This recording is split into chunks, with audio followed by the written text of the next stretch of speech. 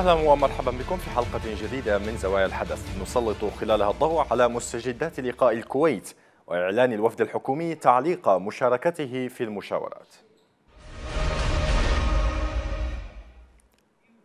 أعلن الوفد الحكومي المشارك في مفاوضات الكويت تعليقه المشاركة في الجلسات المباشرة مع وفد الانقلابيين وقالت مصادر سياسية إن الوفد الحكومي قرر تعليق مشاركته في المشاورات عقب اجتماع لمناقشة تداعيات الخروقات الأخيرة التي قامت بها الميليشيا ولفتت المصادر إلى اتصالات أجراها الوفد الحكومي مع سفراء دول الخليج والدول دائمة العضوية بمجلس الأمن لإطلاعهم على حجم الخروقات واستمرار الميليشيا بالحرب في كل الجبهات. أكثر من عشرة أيام على انطلاق لقاء الكويت فيما لا تزال الفجوة قائمة بحجم الفرق بين الأهداف التي أعلنها الطرفان.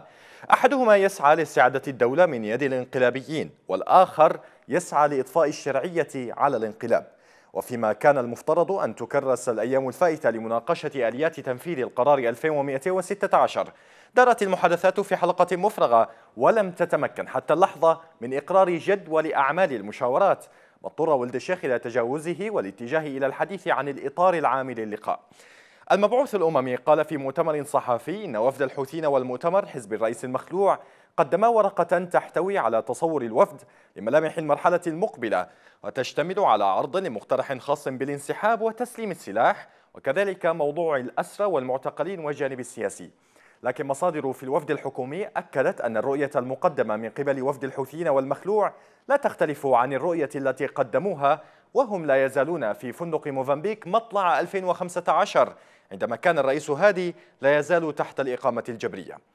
التفاؤل المفرط الذي يعبر عنه ولد الشيخ في مؤتمراته الصحفية ليس على الواقع ما يدعمه لا في جلسات المشاورات ولا حتى في جبهات القتال. فقد بدا أن الحوثيين وحليفهم يبحثون عن وقف العملية الجوية لطيران التحالف فقط فيما يصعدون من عملياتهم العسكرية على الأرض ويستمرون في اقتحام المعسكرات ونهبها كما حدث مؤخرا في معسكر العمالقة بعمران. مستجدات مشاورات لقاء الكويت وتعليق الوفد الحكومي للمشاورات هو موضوع حلقتنا من زوايا الحدث.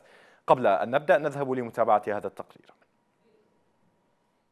جولة المحادثات في الكويت بشأن الأزمة اليمنية تتعثر. الحكومة علقت مشاركتها في المشاورات واعتبرت أن استئنافها يعتمد على تصحيح مسار التفاوض والأحداث على الأرض. ونوهت إلى أن وفدها جاء إلى الكويت أملا في تحقيق انتقال سياسي ينبني على القرارات الدولية المتعلقة بالأزمة بحيث لا يكون فيه بقاء للانقلاب أو نفوذ للميليشيا. وفد الحوثيين والمخلوع بدا غير مكترث لتحفظات الوفد الحكومي وكالعادة اعتبر مجيئه إلى الكويت فقط من أجل إضفاء الشرعية على الانقلاب. ففي الوقت الذي يجري الحديث عن ضرورة تسليم السلاح والانسحاب من المدن والمعسكرات والمؤسسات تعكس تحركاتهم على الأرض وهم الحديث عن هذه النقاط. فكيف بمن يضاعف من ترسانته العسكرية أن يذهب لتسليمها في الوقت نفسه؟ وكيف لمن يكثف القصف أن يجلس على طاولة الحوار بنية خالصة تؤمن بالحل السلمي؟ تعثرت المشاورات وما تزال في نقطة الصفر بعد عشرة أيام على انطلاقها. فلا جديد حتى هذه اللحظة باستثناء ما كشف عنه المبعوث الأممي من رؤى قدمتها الأطراف فيما يخص المرجعيات التي تستند عليها المشاورات. مصادر في الوفد الحكومي قالت إن وفد الميليشيا يصر على تقديم الجانب السياسي وتشكيل حكومة قبل البدء بالإجراءات الأمنية التي نص عليها القرار الدولي بينما تتمسك الحكومة بتنفيذ النقاط الخمس المتمثلة في الانسحاب من المدن وتسليم السلاح ومؤسسات الدولة والإفراج عن المعتقلين ومن ثم مناقشة الخطوات السياسية. أجواء الجلسة كانت إيجابية وبناءة والجدير بالذكر أن كلا الورقتين تضمنتا الالتزام الكامل بالقرار 2216 وقرارات مجلس الأمن ذات الصلة ومبادرة مجلس التعاون الخليجي ومخرجات الحوار الوطني. المتفائل الوحيد بهذه الاجتماعات العقيمة حتى الآن هو المبعوث الأممي إسماعيل ولد الشيخ أحمد. لا أحد غيره يتوقع حدوث أي تقارب وشيك بين الأطراف الفاعلة في الملف اليمني. وبعيدا عن التفاؤل المفرط الذي يعبر عنه ولد الشيخ في مؤتمراته الصحفية. ليس هناك في الواقع ما يدعمه لا في جلسات المشاورات ولا في جبهات القتال. ينضم إلينا مشاهدينا الكرام عضو الفريق الاستشاري للوفد الحكومي الأستاذ محمد ناجي علاء. مساء الخير أستاذ محمد. مساء النور بس يرفعوا لي الصوت قليلا لو سمحت. أهلا وسهلا بك بكل تأكيد سيقوم آه، الكنترول بذلك. أستاذ محمد يجري الحديث عن تعليق الوفد الحكومي مشاركته في المشاورات لماذا هذه الخطوة؟ بالتأكيد يعني ما جرى في المعسكر العمالقة استمرار حصار آه، آه، مدينة تعز حصار المدن بشكل عام يعني استمرار العمليات العسكرية قصف قاعدة العنز بصواريخ يعني كل هذه الأعمال العسكرية المستمرة يعني لا يمكن معها يعني السكوت من قبل الوفد الحكومي على مثل هذه ال ال ال ال يعني أنها وقف اطلاق النار هو من جانب واحد يعني عمليا وبالتالي كان لابد للوفد الحكومي من أن يعني يحدد موقف من هذه المسائل. طيب يعني ما هو موقف الأمم المتحدة والمبعوث الأممي من هذه الخطوة التي قامت بها الحكومة؟ هل من ردود فعل منهم حتى الآن؟ الآن وزير الخارجية الكويتي مشكورا التقى بنائب رئيس الوزراء وزير الخارجية اليمني ليسعى لحلحله الأمور، طبعا الأمم المتحدة من تسعى في هذا الاتجاه. طيب ماذا عن وفد الحوثيين والمخلوع؟ هل من تعليق من قبلهم على هذه الخطوة؟ لا تعليق. طيب في حال لم يتم تصحيح مسار هم يدعون دوما نعم. أن الطيران ما زال يحلق كطيران استطلاعي ويحتجون على هذا ودائما يفبركون بعض المسائل وأنهم يدافعون عن أنفسهم في تعز يعني يحاصرون مدينة يقتلون الناس غذاء وقصفا ويدعون بأنهم يدافعون عن انفسهم في تعز. يعني ما ماذا تنتظر منهم أن يقولون؟ طيب في حال لم يتم تصحيح مسار التفاوض وكذلك الالتزام الفعلي بالهدنة على الأرض أو وقف العمليات العسكرية هناك ما الذي ستتخذه الحكومة أو الوفد الحكومي المشارك في المشاورات؟ هل ستنسحب أم ستضطر في لحظة ما إلى الاستجابة للضغوطات وإيقاف هذا التعليق. والله لا أدري لا أستطيع أن أجزم بالخطوة القادمة لأن المسائل أيضا تخضع لاعتبارات كثيرة. الحكومة حريصة على السلام حريصة على عقل بناء اليمنيين حريصة على أن لا تغلق نافذة مهما الضوء التي يأتي منها. من أجل الوصول إلى السلام وإلى عودة الشرعية يعني انهاء آثار الانقلاب. وبالتالي يعني المسائل في هذا الإطار يعني لا لا لا أستطيع أن أتنبأ برد فعل الحكومة النهائي. طيب أستاذ محمد يعني قبل أن تعلق الحكومة يعني مشاركتها في المشاورات إلى أين كانت المشاورات قد وصلت لحظة إعلان هذا التعليق؟ لم تصل إلى شيء. الأوراق التي قدمت كما تعلم.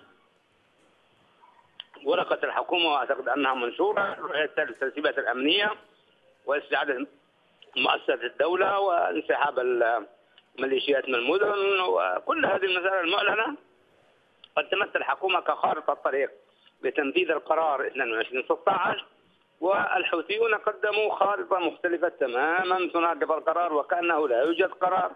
ولا توجد حرب تمت. ويعني يطلبون ذهاب هذه وتشكيل مجلس رئاسة جديد. ويعني كل هذه كل هذا العبث الذي دوما كانوا يقولونه في حوارات موزمبيق في 2015 عادوا ليقولوها اليوم بحذافيره في الكويت. لذلك الآفاق ما زالت من حيث الحوار مسدودة فقط. الذي جرى بأن الطرفين بضغط دولي يجلسان على طاولة المفاوضات. يعني تبادل يعني أنا أسميه إلى حد الآن. يعني يعتبر المجتمع الدولي بأن ذلك إنجاز مجرد أن يعني يلتقي الوفدين في على الطاولة طاولة واحدة. طيب أرجو أن تتفضل بالبقاء معي أستاذ محمد. ينضم إلينا الآن الأستاذ غمدان اليوسفي الصحفي من الكويت كذلك مساء الخير أستاذ غمدان. أهلا وسهلا مساء النور. أستاذ غمدان كيف تبدو أجواء المشاورات بعد تعليق الوفد الحكومي مشاركته اليوم؟ في النهاية التعليق سيبقى تعليقا كما هو المصطلح المسمى به حتى هذه اللحظة ولكن فقط يبقى مسألة إلى إلى كم من الوقت سيستمر هذا التعليق. أعتقد أنه الفريق الحكومي يعني يدرك حجم يعني صعوبة الاستمرار في التعليق. هناك ضغوط كبيرة طبعا تمارس على الأطراف السياسية. هنا أعتقد أن هناك إصرار على مسألة النجاح بأي وسيلة من الوسائل وهذه المسألة قد تكون مؤثرة إلى حد ما في مسار المشاورات لكن ربما هي أيضا مفيدة في سياق مسألة حلحله الوضع. لا يعني برغم الصعوبات أعتقد أن حتى عامل الوقت آه، الآن ألغي من كل هذه الحسابات، عامل الوقت أن يتم أن تتم المشاورات لأسبوع أو لشهر أو آه، إلى ما بعد رمضان أو إلى إلى غيره من من المدة الزمنية. فأعتقد أنها ألغيت من هذه الحسابات ولم آه، يتم تحديد سقف زمني لهذه المشاورات. وبالتالي اذا ربما قد تشكل الضغوط من هنا أو هناك قد تشكل قد يعني المسارات الدبلوماسية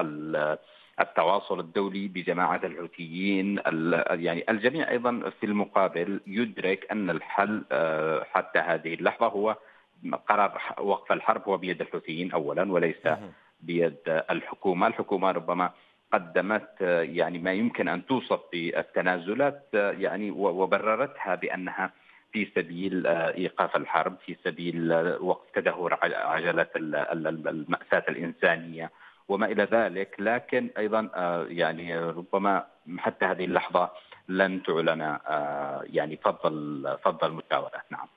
طيب يعني آه، بحكم متابعتك ووجودك في كواليس هذه المشاورات كيف تتابع ردات الفعل حول عملية التعليق من قبل الحكومة سواء من قبل الحوثيين وكذلك من قبل المب... يعني طرف الحوثيين الانقلاب وكذلك من قبل الراعيين لهذه المشاورات والدولة المستضيفة؟ ردة الفعل أعتقد آه، ما زالت آه، حتى هذه اللحظة مبررة أمام خصوصا أمام المبعوث الأممي الذي وصف في المؤتمر الصحفي مساء أمس ما يحدث تحديدا في تعز بأنه مأساوي وكارثي وهو يدرك أساسا لكنه لا يعلن يدرك أنه أن هذه المأساة والكارثة التي تحل في تعز هي يدرك من الطرف الذي يقوم بها وبالتالي يتعامل مع هذا الطرف ربما على هذا الأساس على هذا الأساس لكن ربما الموازين المهنية والاعتبارات المهنية المرتبطة بالأمم المتحدة تجعله يبقى على مسافة من من من جميع الأطراف ويؤجل هذا الإعلان، أما بالنسبة لدولة الكويت فقد بادر آه، وزير الخارجية الكويتي اليوم بعد إعلان التعليق بادر مباشرة بالتواصل مع آه، يعني وزير الخارجية اليمني والتقى به ويعني شرح له رئيس الوفد الحكومي اليمني ووزير الخارجية هذه ال ال يعني الأسباب التي أدت إلى التعليق وربما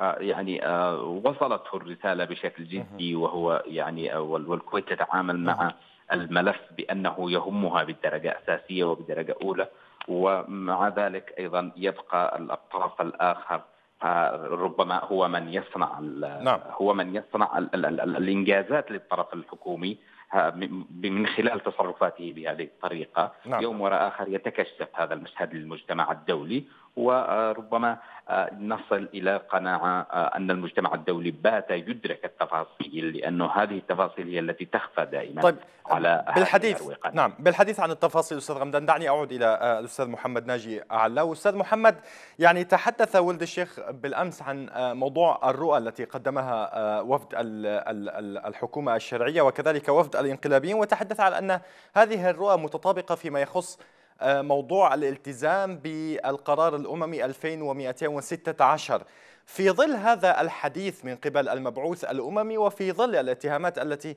يعني تواجهونها لطرف الانقلابيين بمحاولة التملص من هذا القرار كيف تقيم موقف الأمم المتحدة والمبعوث الأممي وحتى سفراء الدول الثمانية عشر بخصوص المشاورات في الكويت؟ يا أخي انظر للأمم المتحدة في كل المجالات هي لا, لا يمكن أن تتوقف عن الأمل في أن يصل الفرقاء إلى حلول، يعني سوريا تقتل تمسح أبشع من اليمن أكيد رغم أن القتل قتل لكن أو قتلا لكن آه الأمم المتحدة وظيفتها أنها تظل تأمل تقلق ولذلك موقف الأمم المتحدة أن آه يعني تجمع الناس على الطاولة وتسعى بقدر الإمكان أن يظلوا على هذه الطاولة حتى يصلوا إلى حلول. مهما طال الزمن هي لا تتوقف يقينا يعني. ولذلك نحن يجب ألا نحول الأمم المتحدة وكأنها طرف من أطراف النزاع آه، تحرك الجيوش وتحرك الأساطيل الأساطيل يعني هي فقط آه، تعطي أمل آه، تجمع الأطراف تسعى للتوفيق تستخدم ضغوط الدول الراعية وال 18 دولة راعية لهذا الملف. وبالتالي يعني تقييم موقفها هي متفقة مع نفسها ومع وظيفتها والدشاك تشكل وظيفة للأمم المتحدة وهو يقوم بها على أحسن وجه يقينا. طيب الآن يجري الحديث عن وجود نصف تسوية أو ما يشابه التسوية يجري التحضير لها وإعدادها في مشاورات الكويت. يعني هل تدرك الحكومة ذلك في حل عفوا عفوا لما حل أدركت ذلك؟ ما هو موقفها من من هذا الأمر؟ عفوا عفوا. لما أسمعك لما لم يكن واضحا الصوت. آه، كان الحديث آه، أستاذ محمد عن أنه يجري آه، الكلام عن ما يشابه التسوية التي يجري التحضير لها في مشاورات الكويت. يجري الإعداد لها وإخراجها في هذه المشاورات. الحكومة ما موقفها من أي عملية من هذا النوع؟ لم أفهم السؤال. يعني تجري السعي للتسوية؟ نعم يعني هناك سعي. لهذه التسوية لكن الرؤى المطروحة حقيقة من قبل الطرف الآخر الانقلابيين. هي رؤى لا يمكن أبدا أن تنتهي إلى تسوية. هي رؤى تريد رؤى رؤية تريد من هذه أن يغادر مكانه أن يسلم موقعه أن آه، آه، يقسم الطرف الآخر آه، يعني للانقلاب لنتائج الانقلاب. لذلك أنا بقول أنه فعلا المشكلة عويصة جدا. الجماعة يمسكون بأرض جدهم كما يدعون ولا يهمهم الجنوب بالتأكيد الجنوب هذه خلاص خرجت من أيديهم لكن هم في آه، مساحة الجمهورية العربية اليمنية السابقة وهذا الذي يهمهم هو إعادة آه، هذه المساحة إلى الحاضنة أو الجهة الحاكمة التاريخية. وبالتالي ما قدموه حقيقة هو يمضي في هذا الاتجاه وفي هذا السياق. آه، المفاوضات حقيقة ستظل سرعة مكانها. كما هو الحال في المفاوضات السورية ما لم تتغير الوقائع على الأرض. إذا أشكرك محمد ناجي علاو عضو الفريق الاستشاري للوفد الحكومي. كنت معنا عبر الهاتف من الكويت وأعود إلى الأستاذ غمدان اليوسفي. أستاذ غمدان تحدثت قبل قليل على أن عامل الزمن تم إلغاؤه بشكل أو بآخر في هذه المشاورات. هل يعكس ذلك مدى البون الشاسع بين مواقف الحكومة الشرعية وموقف وفد الانقلابيين فيما يخص مشاورات الكويت. بالفعل حين تم إلغاء العامل العامل الزمني ربما يعني كان كانت الأطراف الراعية لهذه المشاورات. قد وصلت إلى هذه القناعة خصوصا ربما ليس فقط منذ البداية منذ تأخر الوفد الحوثي إلى صنعاء ولكن أيضا ما يتعزز كل يوم آه، أتحدث بالتحديد عن مسألة الرؤية التي قدمت مؤخرا للمبعوث الأممي والفارق في في فهم الإشكالية ما بين الحوثيين وما بين الحكومة، الحكومة تعتبر نفسها هي الطرف الشرعي والذي يفترض أن يعود اولا إلى ممارسة مهامه ثم ما بعد ذلك النقاش على الملف السياسي بينما هم يعتبروا أن الحكومة قد حلت وبالتالي لا يدركون أن مسألة الحديث عن حل الحكومة أو ما شابه هو يعني بشكل أو بآخر هو حل المبادرة الخليجية والاتفاقات السابقة التي بنيت عليها التي بني عليها المشهد السياسي منذ العام 2011 هذا البون الشاسع ربما كما تحدثت عنه هو ما تسبب في وضع الخارطة الزمنية المفتوحة لهذه المحادثات.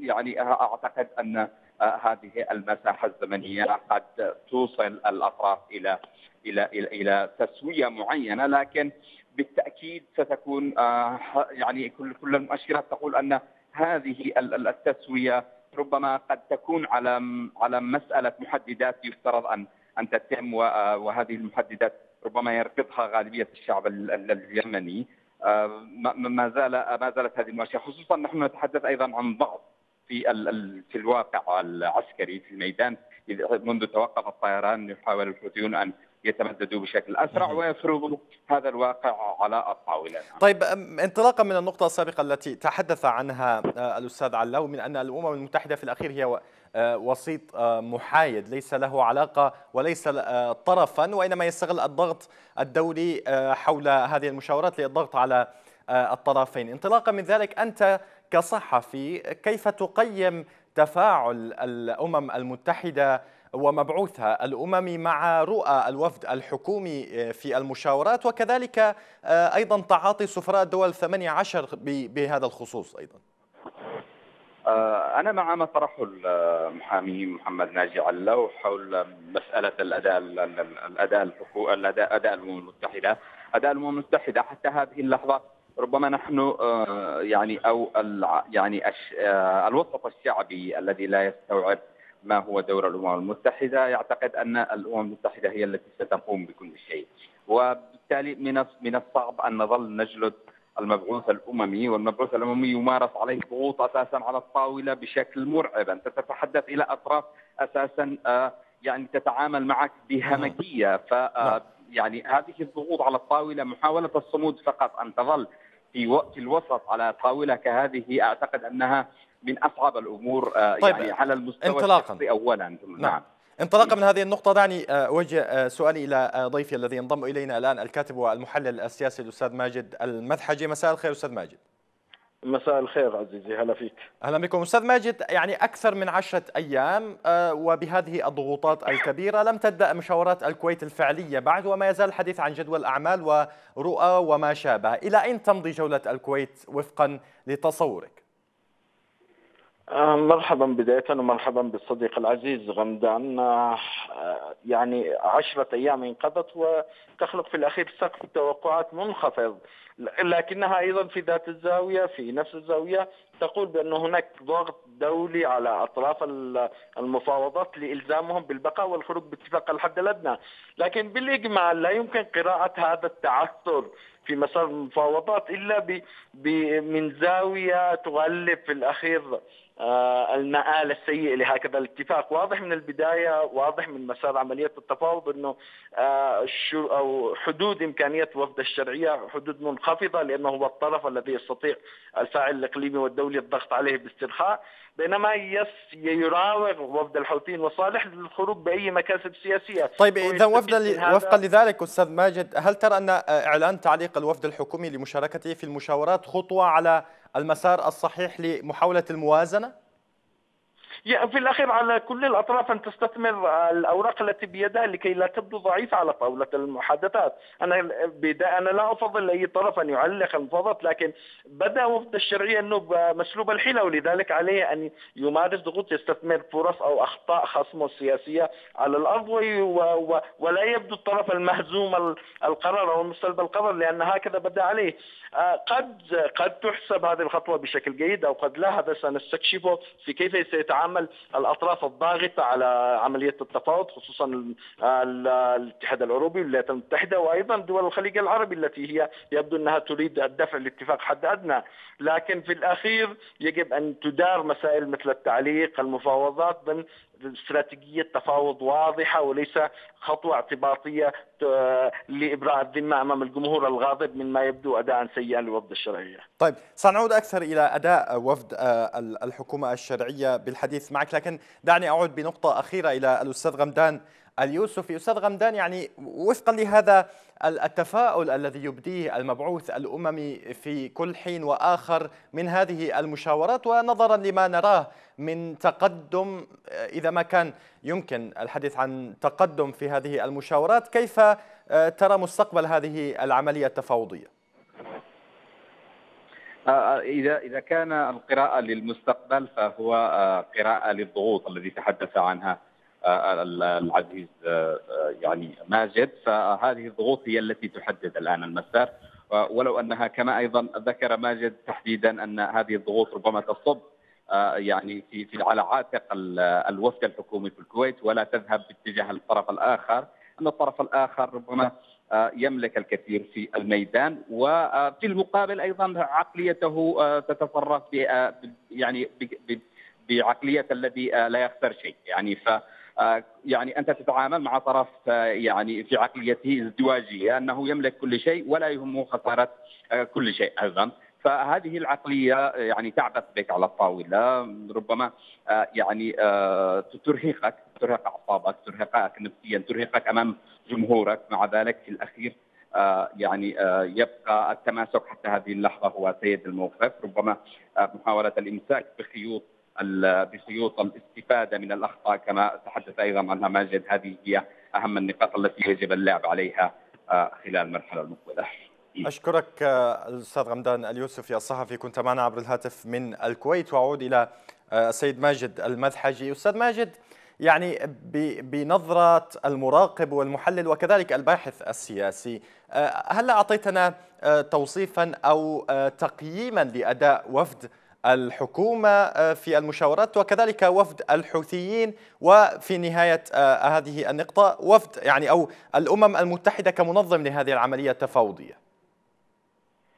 يعني بداية هو واضح أنه مسار التفاوضات هو مسار يشهد اختلالا لصالح جماعة الحوثي. جماعة الحوثي كما أشار غمدان هي جماعة تراهن يعني تقامر إذا صح التعبير على على على عدم المسؤولية تقامر على إنه لا يوجد لديها ما تخشى عليه لأنه هي وضعت في الأخير المسار السياسي الوطني الوضع في اليمن كله على الحافه بمقامراتها من بداية هذه الحرب. وبالتالي يدرك الأطراف إنه يجب التعامل بشكل حذر مع هذه الجماعة وهو ما تستثمره بشكل جيد. وهي استطاعت ان تخترق في الأخير جدار الصد الإقليمي والدولي تجاهها وأصبحت في مواجهة مباشرة أو في لقاء مباشر مع أطراف كانت تتمنى التواصل معهم. هذا أضعف خيارات وأدوات الوفد الحكومي الذي هو ضمنيا قراره يتقاسم قراره السياسي مع مع رعاته الإقليميين مع دول الخليج العربي الذي واضح والسعودية الذي واضح إنها ميالة في هذه الفترة إلى الوصول إلى تسوية ما يسلب الوفد الحكومي قدرته على إدارة مفاوضات بسقف مرتفع. آه، ولذلك بدأ كثيرا هزيلا اداؤه أمام ما يبدو تعنت الحوثيين وصالح وربما يمكن وصفه بالصفاقة السياسية التي أداروا بها المفاوضات. حتى الآن يعني أنت لا تاتي لمفاوضات لكي تقوم بالاعتصام في غرف الفندق. أنت إذا كان لديك موقف مسبق كان يفترض أن لا تأتي. بالتالي هم أداروا مسار سياسي أضعف من صورة الوفد الدولي ومن الوفد الحكومي والوفد الحكومي اجمالا يبدو بدون مخيلة سياسية غير قادر على إدارة هذه المفاوضات حتى لو لم يكن قرار كليا. الفاعل الأممي بالأخير لا يمكن لومه كثيرا. آه، الأمم المتحدة طبيعة دور الممثلين الدوليين هي هذا ما نشهده. آه، مترددة آه، تحاول جمع بالحد الأدنى. لا تستطيع اتخاذ موقف لكي لا تخسر طلب بالتالي العتب لا ينصب عليها ينصب على في الأخير الفاعلين الدوليين الأساسيين الذي قد يكونوا تقييم الوزن السؤال الاساسي هو يتم إنه لماذا لا يتم استثمار الفاعلين الإقليميين ذوي الدالة على جماعة الحوثي صالح سلطنة عمان يمكن كانت أن تلعب دورا هي حتى لو لعبت دورا ميسرا للحوثيين لكنها في الأخير ضمن الأسرة الخليجية وكانت يمكن أن تشتغل كقناة ضغط على الخليجيين للحصول على الحوثيين للحصول تنازلات. يبدو إنه الفاعل الشرعية، الشرعية لا تتعامل بشكل جيد مع هذه الورقة ويمكن طيب. أن تفتح قناة آه. جيدة طيب وفقا لذلك كله هل يعني تحتاج هذه المشاورات حتى يعني آه، تزحزح من المكان الذي يعني تحوم حوله؟ هل تحتاج إلى المزيد من الخيال السياسي من قبل هذه الوفود أو حتى من قبل المبعوث الأممي في جلب خيارات أخرى ربما لم يتم الحديث عنها آه، من قبل؟ بالضبط يجب استظهار الفرص والأدوات السياسية. يعني واضح إنه على مدى عام أنا أتحدث عن سلطنات عمان على مدى عام كانت هي القناة الوحيدة الممتدة مع الحوثيين. يجب تفعيل هذه القناة ليس من قبل الحوثيين صالح من قبل الشرعية ومن قبل الفاعل الأممي. هذه أحد أدوات الضغط التي قد تكون ملائمة نعم. لممارسة الضغوط على لكبح جماح الحوثيين وصالح. أيضا يجب تنويع الخيارات التفاوض يعني أقصد إنه إغلاق مسار المفاوضات بهذه الطريقة وعلى هؤلاء الأطراف. آه واضح إنه لا يجدي حتى الآن لا يخلق فرص سياسية حتى الآن. إلا إذا كان هناك ما يطبخ تحت الطاولة ولا يتم رؤيته لأنه عشرة أيام يستحيل فقط أن تظل المفاوضات رهينه تودد بين هذا الوفد وهذا الوفد كي يرضى إلى النزول إلى قاعة الاجتماعات. بالتأكيد هناك مسار فوضات غير مرئي تفصح عن هذه الاجتماعات المتوالية ليس فقط من المبعوث الدولي بل أيضا من آه، سفراء الدول الاتحاد الأوروبي سفراء الدول الخليج العربي الذي اجتمعوا لأول مرة مباشرة أو بشكل رسمي يتحدث لأنه غير رسمي قد حدث تواصل مع وفد الحوثيين وصالح. أشكرك الكاتب والمحلل السياسي الأستاذ ماجد المذحجي كنت معنا عبر الهاتف من صنعاء. بهذا مشاهدينا الكرام نكون قد وصلنا إلى ختام حلقة اليوم. في ختامها أيضا تقبلوا تحياتي أنا وجيه السمان في تقديم هذه الحلقة وتحيات محمد القاسم في الإعداد وبقية أفراد الطاقم الفني. لحين الملتقى دمتم والوطن بألف خير. إلى اللقاء.